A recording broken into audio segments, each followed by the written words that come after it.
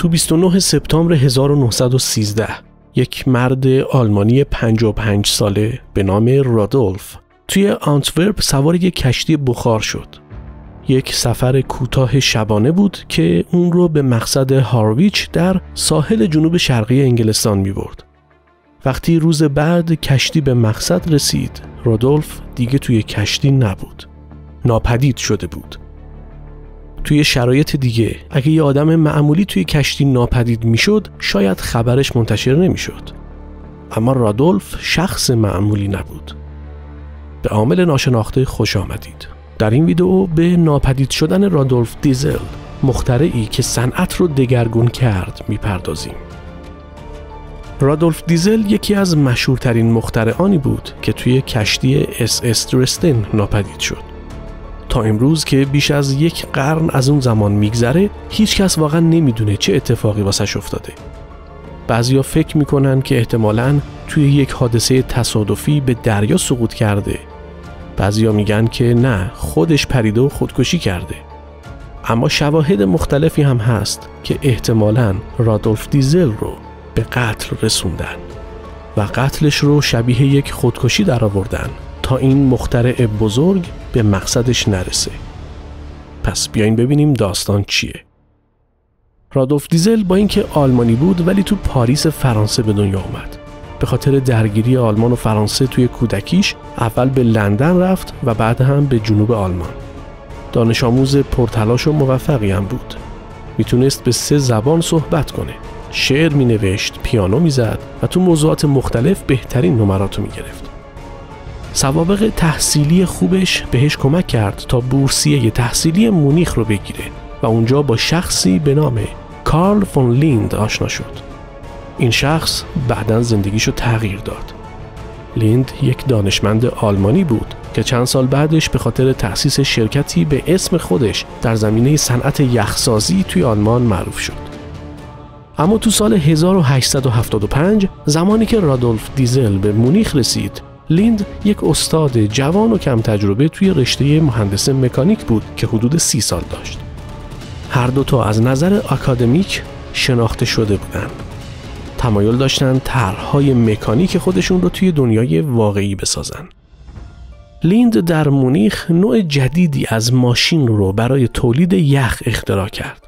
و زمانی که دیزل در اوایل سال 1880 فارغ و تحصیل شد، لیند در حال راه اندازی یک کارخانه صنعتی در پاریس بود.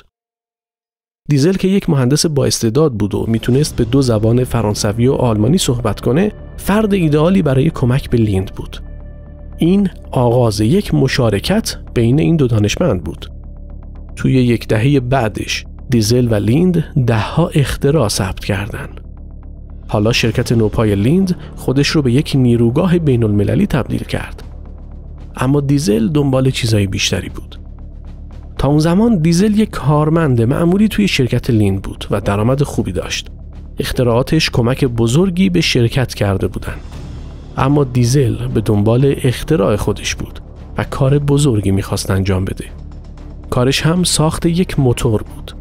در دوران دانشگاه لیند در سخنرانیهاش از موتور بخار صحبت می کرد که چقدر ناکارآمدن و نهایتا ده درصد بازدهی دارن. این ایده از همون زمان در ذهن دیزل فرو رفت تا موتوری با بازدهی بیشتر بسازه.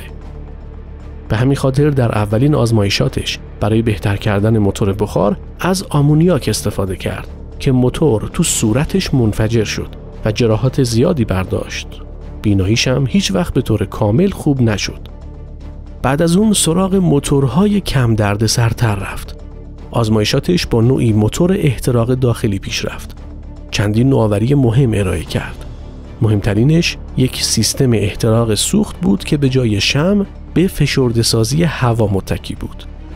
این اولین نمونه از چیزی بود که الان اون رو به نام موتور دیزل می‌شناسیم. و در سال 1896 تکمیل شد. آزمایشات اولیش نشون داد که بازدهی سوختش 26 درصده یعنی بیش از دو برابر موتورهای موجود در اون زمان. پیامدهای این موتور زیاد بود. هر صنعتی که از موتور استفاده می کرد که خب اساسا همه صنعت از موتور استفاده می‌کنن با این موتور می‌تونستن هزینه های مصرف برقشون رو از نصف کمتر کنن. اما موتورهای دیزلی اولیه مشکلات خودشونو داشتن. رودولف مجبور شده بود پول مشتریان ناراضی رو برگردونه.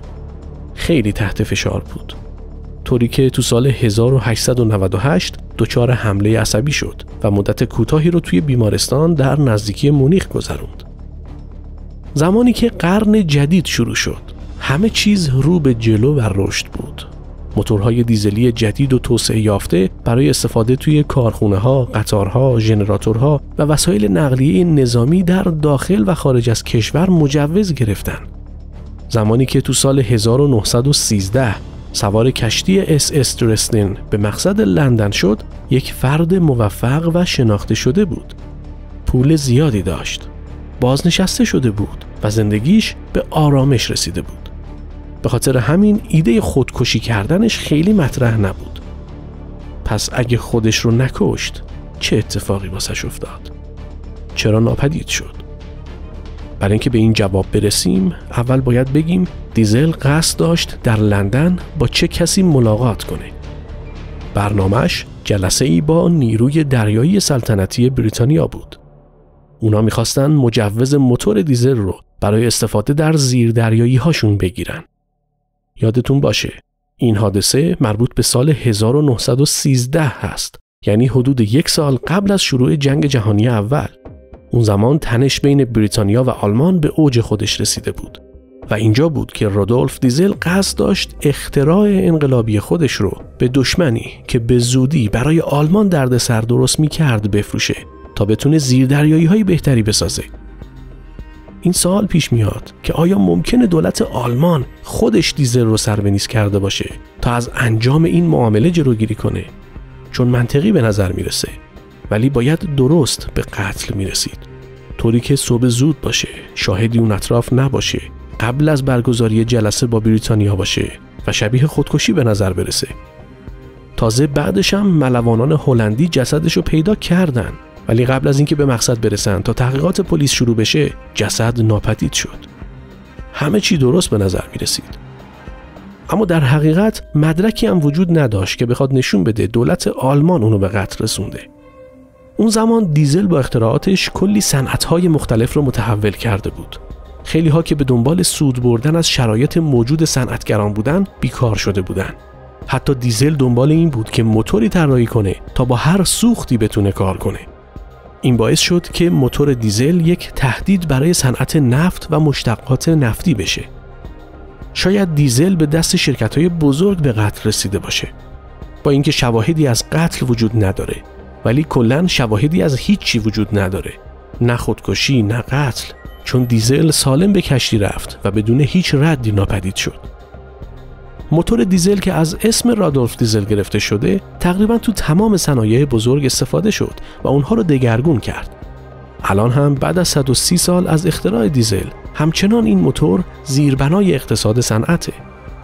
ولی تصمیم چرایی ناپدید شدن دیزل با شماست. ما فقط داستانش رو روایت کردیم. تا عامل ناشناخته دیگر بدرود.